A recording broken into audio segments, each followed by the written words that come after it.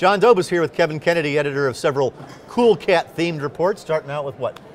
Explosive small cap growth stock report, which you, you kind of made your chops there, right? made your bones on that one, and then uh, Cool Cat ETF report, and you've got a third one that, uh, that deals with usually large cap market leading stocks, is that right? Right, yeah. Coolcat uh, Stock Market uh, Momentum Leaders Report. It basically uh, covers the stocks that are a little bit bigger than the, uh, the small caps, uh, over 2 billion market cap. Still looking kind of the small end of that frame. It's like the uh, mids then, right? Like yeah, well small to mid, depending on, you know, everybody seems to have their own little definition. 2 to 10 I consider mid cap. Yeah, okay, so let, us call mid them mid caps. And I, I basically kind of fish in the smaller end of that C and uh, uh, that's one portfolio in that report. And then I, uh, I also track the Nasdaq 100 stocks. No, are you just a you're not just a technical guy. I mean, you you, you certainly looked at a lot of charts with the uh, with those small caps back in the early part of the OOs.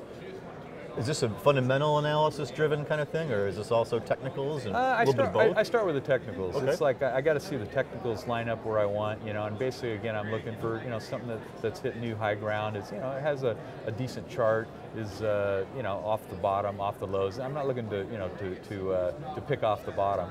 Um, so I need some strength, and I like to see a little pullback off that strength, you know, and, and not a not something that you know bottomed out three years ago or five years ago, you know, but ideally something that's kind of kind of been in the tank, like even like a Tesla. Tesla would be a good example. It was when it was below 200 bucks, right? Yeah, I mean, there you go. Now again, you know, this is probably you know just had a recent pullback, might be a good spot for Tesla here.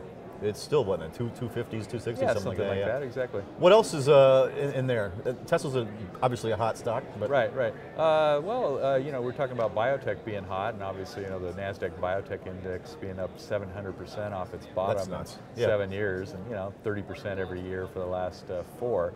Um, so I got Lex, uh, Alexion Pharmaceuticals sure. out of that batch. Uh, you know, again, it's it's not your typical uh, small cap. Uh, it's not a small you cap at all. Will no, it go? It's, it's, it's 40 billion uh, yeah. market cap, and uh, you know, got you know, they're like six dollars in earnings they're supposed right. to make next year, and you know, two billion in sales, and so you know, it's a it's, obviously, uh, and, it had a nice little pullback recently. Pulled back to about 150, and now it's over 200 again.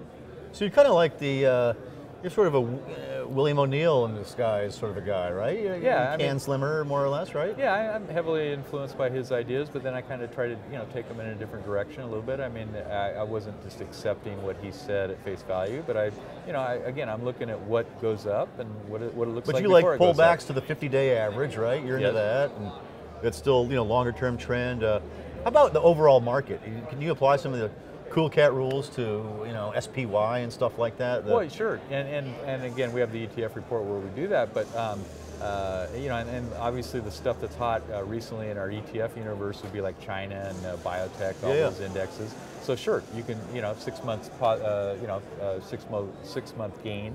Um, you know, that's what you're looking at in terms of momentum. Back that's in October of, of, of 2014, you know, we were down below the 200-day average, and then just in June, early July, down below the 200-day average again uh, on the S&P.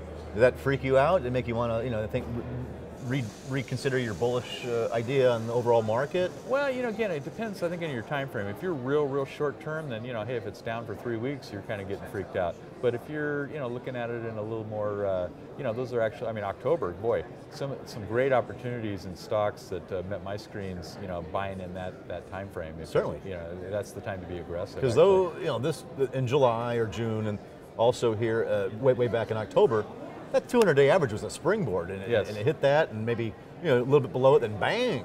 What I like to do is, is find a stock that you know, again, makes a new high, pulls back, and then it goes up for a week, you know. And so I, now I've got a natural, you know, stop below that, and uh, you know, hey, I may get whipsawed, but it's a, it's a good buying opportunity. Nice trading ideas, Kevin Kennedy.